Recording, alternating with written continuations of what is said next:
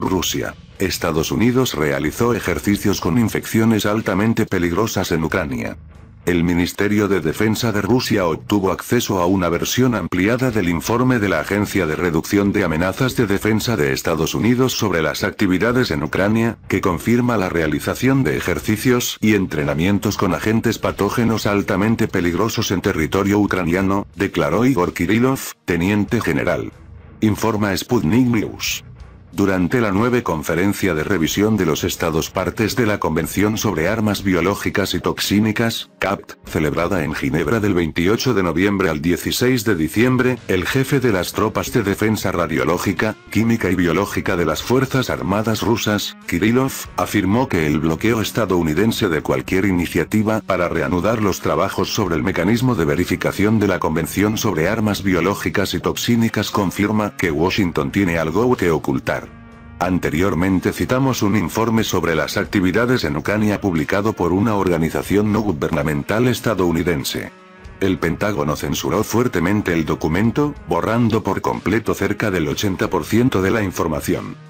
El Ministerio de Defensa de Rusia dispone ahora de una versión ampliada de este informe, que revela los nombres, cargos de especialistas y jefes de proyectos biológicos, una lista de laboratorios implicados, así como hechos que confirman ejercicios y entrenamientos con agentes patógenos altamente peligrosos, resaltó el general. Además, agregó que el exoficial del Pentágono Richard Bosser confirmó el trabajo con patógenos peligrosos en laboratorios financiados por el Instituto de Investigación del Ejército de Estados Unidos en Ucrania. Según Kirillov, durante la conferencia los estadounidenses reaccionaron de forma particularmente dolorosa ante las propuestas de consagrar en el documento final los hechos de la violación por parte de Estados Unidos y Ucrania de las obligaciones de la Convención sobre Armas Biológicas y Toxínicas y su realización de actividades militares biológicas. En cuanto a los resultados de la reunión consultiva celebrada en septiembre, apuntó que se presentaron pruebas documentales de que, con el apoyo financiero, científico, técnico y de personal de Estados Unidos, en el territorio de Ucrania se trabajó con componentes de armas biológicas y se investigaron agentes patógenos de infecciones especialmente peligrosas y económicamente significativas. Entre estos argumentos, el general destacó imágenes de video que reflejaban la postura de expertos rusos e internacionales, así como testimonios de testigos presenciales y de participantes en los programas de reducción de amenazas de defensa de Estados Unidos. Uno de ellos es un antiguo empleado del Instituto de Investigación del Ejército de Estados Unidos, Richard Bosser, que confirmó una vez más el hecho del trabajo con patógenos peligrosos en los biolaboratorios ucranianos financiados por el Pentágono, comunicó Kirillov. Por su parte, el jefe de la delegación estadounidense, Kenneth Ward, se negó a responder a las acusaciones de Rusia sobre la cuestión de las violaciones de la Convención sobre Armas Biológicas y Toxínicas. Moscú nunca estuvo interesada en escuchar las respuestas de Estados Unidos a preguntas concretas sobre los laboratorios biológicos en Ucrania, y por ello tenemos la intención de rechazar cualquier otra aclaración, citó Kirill Zawart. ¿A dónde se traslada la información secreta? El Pentágono está trasladando las investigaciones biológicas militares que estaba realizando en Ucrania a los estados de Asia Central y de Europa del Este, aseguró Kirillov. Según la información disponible, el Pentágono está trasladando activamente a los estados de Asia Central y Europa del Este los estudios incompletos en el marco de los proyectos ucranianos. Resultan de particular interés para el ente militar estadounidense los estados en cuyo territorio ya hay laboratorios con un alto nivel de aislamiento biológico, enfatizó. El ICIAL destacó que, paralelamente, está aumentando la cooperación del Ministerio de Defensa de Estados Unidos con los países de África y la región de Asia y el Pacífico, Kenia, Camboya, Singapur y Tailandia. Previamente Kirillov denunció que en Ucrania fue creada una red de más de 30 laboratorios biológicos que funcionaban en interés del Pentágono. En septiembre, el Ministerio de Defensa ruso también presentó en Ginebra pruebas materiales de la actividad de biolaboratorios militares estadounidenses en Ucrania, pero a principios de noviembre el Consejo de la Organización de las Naciones Unidas rechazó la resolución de Rusia sobre una investigación de ese caso. Rusia revela nuevos participantes de proyectos estadounidenses de armas biológicas en Ucrania. Informa RT. El jefe de las tropas rusas de defensa biológica, radiológica y química resumió los resultados de la conferencia de revisión de la novena Convención sobre las Armas Biológicas y Toxínicas, CAPT. El teniente general Igor Kirillov, jefe de las tropas de defensa radiológica, química y biológica de las Fuerzas Armadas de Rusia, ha revelado a nuevos participantes de los proyectos estadounidenses de armas biológicas en Ucrania. Durante la rueda de prensa dedicada a los resultados de la novena conferencia de revisión de la Convención sobre las Armas Biológicas y Toxínicas, que se celebró en Ginebra, Suiza, entre el 28 de noviembre y 16 de diciembre, Kirillov señaló que algunos participantes de proyectos cerrados siguen permaneciendo en la sombra, aunque son actores clave en el programa militar biológico en Ucrania.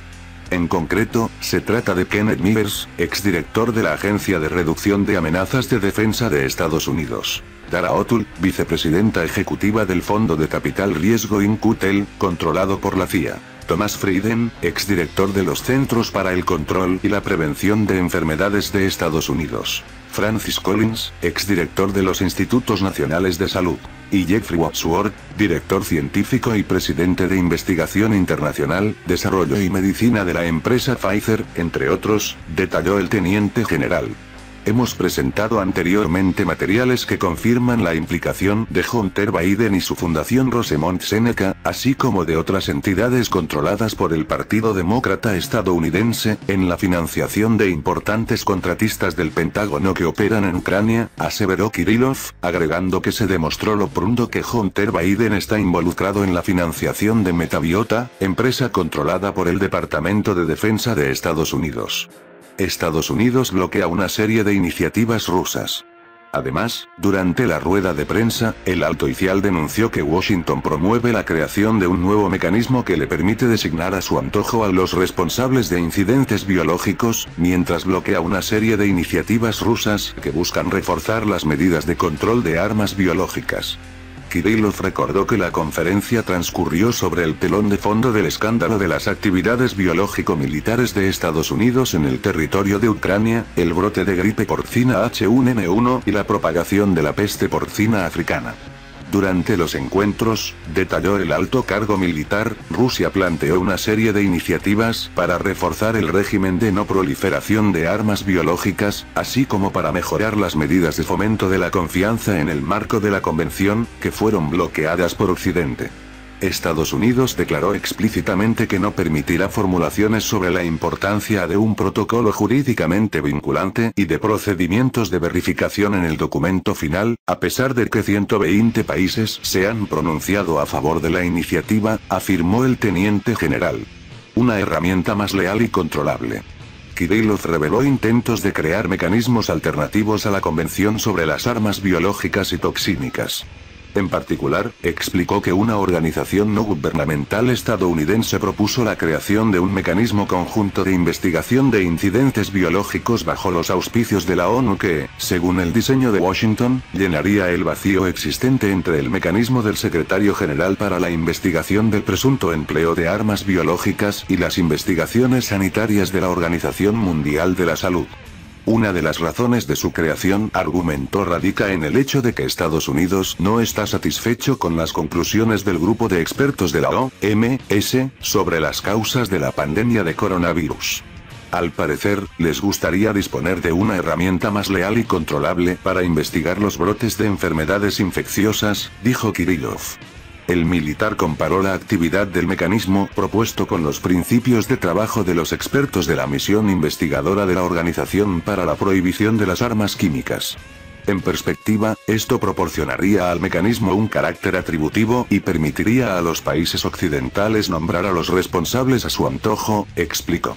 Asimismo, el teniente general comentó que los representantes estadounidenses se manifestaron especialmente sensibles a las propuestas de incluir en el documento final de la conferencia los hechos relativos a las violaciones de los compromisos ante la Convención sobre las Armas Biológicas y Toxínicas por parte de Estados Unidos y de Ucrania, particularmente sus actividades biomilitares en territorio ucraniano. En este sentido, subrayó que la intervención rusa ha llevado a muchos estados participantes a reflexionar sobre los riesgos que supone colaborar con Washington en el ámbito militar biológico.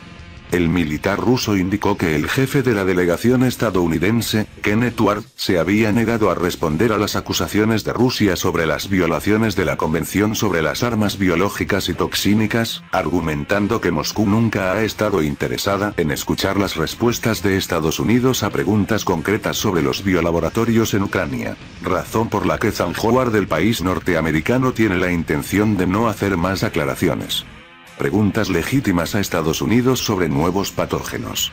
En sus comentarios sobre los mecanismos de la Convención sobre las Armas Biológicas y Toxínicas y la necesidad de aumentar su eficacia, Kirillov mencionó la investigación lanzada por el Partido Republicano de Estados Unidos sobre Anthony Fauci, director del Instituto Nacional de Alergias y Enfermedades Infecciosas y principal asesor médico del presidente Joe Biden.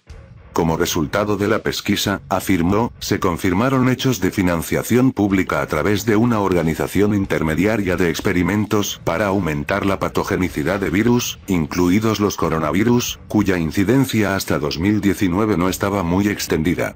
La investigación descubrió que Fauci mintió abiertamente y ocultó deliberadamente la participación del gobierno estadounidense en los programas de investigación. Al mismo tiempo, se descubrió que había actuado en colusión con ejecutivos de las redes sociales para manipular a la opinión pública en cuanto a los orígenes de COVID-19, subrayó. Estas revelaciones plantean preguntas legítimas a los Estados Unidos sobre las causas de los nuevos patógenos causantes de enfermedades humanas y los pormenores de su propagación pandémica, acentuó Kirillov. Bienvenidos a nuestro canal Ercir Militar, suscríbase a nuestro canal para tener la mayor información de la actualidad mundial, si te gustó el video dale like, gracias por su visita a nuestro canal.